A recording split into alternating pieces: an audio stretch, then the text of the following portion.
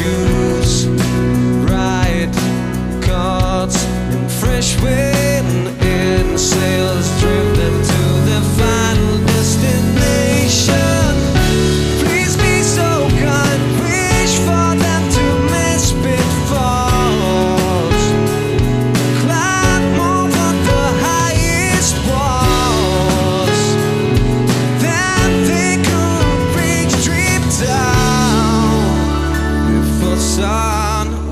kiss the ground